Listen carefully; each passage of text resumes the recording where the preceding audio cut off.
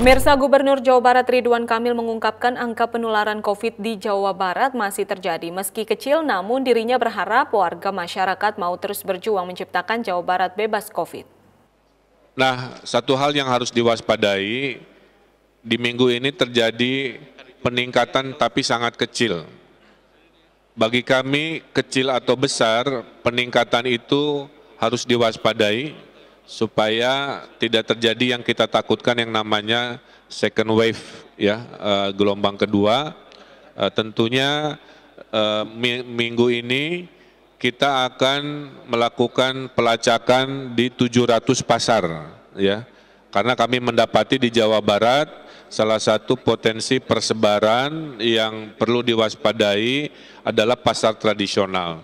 Oleh karena itu tim testing PCR rapid test dengan 627 kendaraan uh, mobile COVID dibantu oleh TNI Polri akan melakukan random sampling di 700-an uh, pasar di mana 500 dikelola pemerintah, 200-nya pasar pribadi itu se-Jawa Barat untuk menunjukkan Menurut Gubernur, sekecil apa pun peningkatan penularan harus diwaspadai karena dikhawatirkan terjadinya gelombang kedua penularan.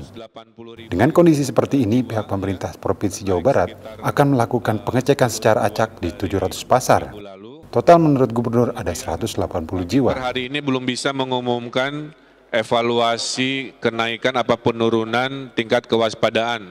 Mungkin baru dua hari ini. Karena hitungannya harus 14 hari, uh, jatuhnya itu di lusa bukan di hari ini. Jadi kita akan memonitor uh, hari ini dan besok, mungkin hari Rabu baru kami akan umumkan uh, mudah-mudahan seperti yang sebelumnya yang kuning banyak beralih ke biru bukan sebaliknya pindah memburuk ke warna merah atau warna-warna yang lebih buruk.